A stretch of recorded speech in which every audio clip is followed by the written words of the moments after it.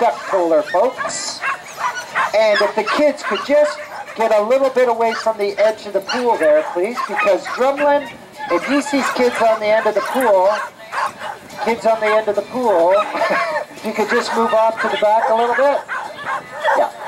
And he won't come out of the water. That's the problem if he sees kids.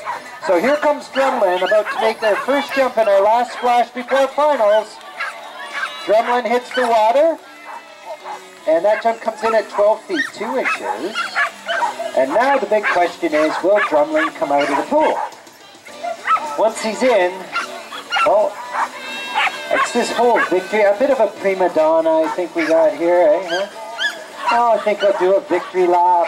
Oh, oh, we've got, Veronica is in the water. Are you all right, Veronica?